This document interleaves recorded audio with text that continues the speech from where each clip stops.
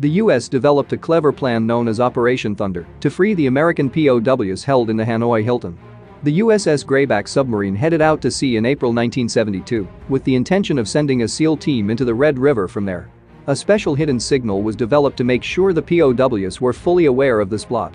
On May 2 and 4, Hanoi would experience two trisonic booms that would be separated by precisely 15 seconds. Two SR-71 aircraft would be needed to produce this sound of freedom.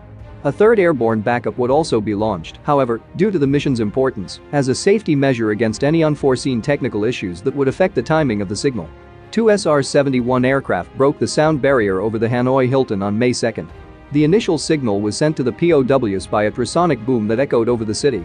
Then again, on May 4, sonic booms from SR-71 Blackbirds flying at 70,000 feet once again rumbled Hanoi.